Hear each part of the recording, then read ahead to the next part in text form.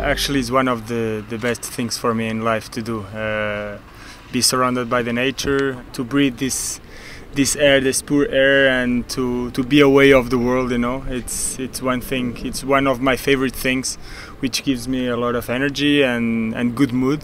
And uh, I think it's essential to uh, to have su- success in, in life. Sometimes it's it's really really pleasant to, to have these moments, and uh, I'm lucky to have this one with with you guys.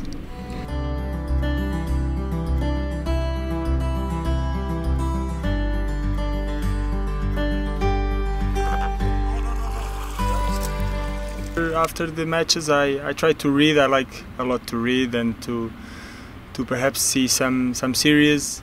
Unfortunately, my friends or girlfriend and family cannot come every every every week.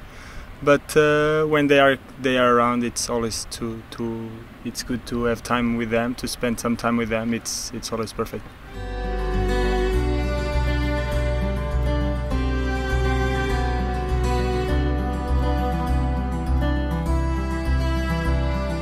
As I say, I like to read a lot. I, I like to go to the cinema and uh, try to do some different things than, than what we are used to do uh, on tour. It's it's not always uh, easy to, to do what we want on tour because we are very focused in in competing and to and to do our best on tournaments.